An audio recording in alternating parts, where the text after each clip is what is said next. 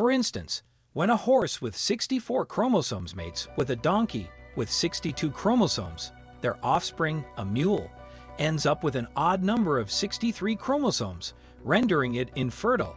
However, some primate species like gorillas and orangutans share the same number of chromosomes, making it easier for them to produce healthy offspring.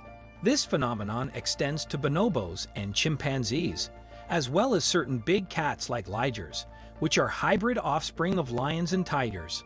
Interestingly, early humans